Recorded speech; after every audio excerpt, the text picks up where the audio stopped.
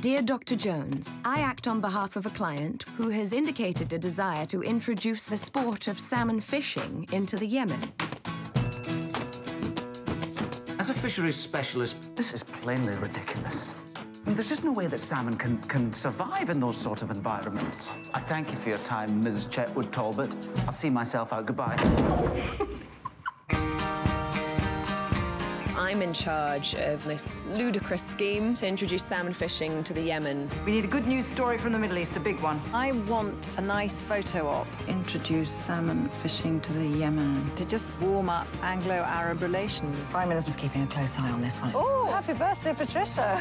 This has just become a priority project. For Fred, it's just a complete nonsense, the idea that these fish that live in cold waters in Scotland would survive in the deserts. Firstly, we would need to trap 10,000 salmon, get them to the Yemen alive, don't ask me how, allowing the salmon to migrate upstream, of course, until the dry season, when they will all die. It's very impressive, Dr. Jones. Look, I just made it all up. No, the drawing. Real talent, if I might say so.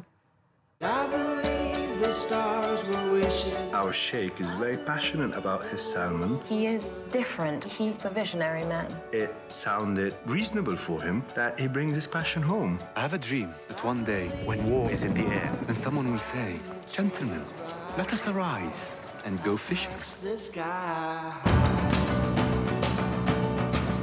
Something shifts in all of them, as though everyone has a journey. We seek what we have passion for. Ingredients for the film are really rich. To have faith and hope in the most ludicrous ideas. I think that's really lovely.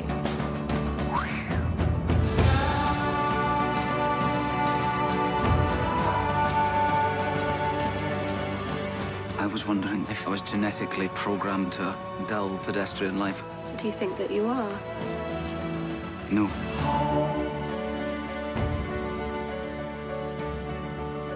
This is a new one I've invented. Is it? Mm-hmm. Beautiful. Yes, she is.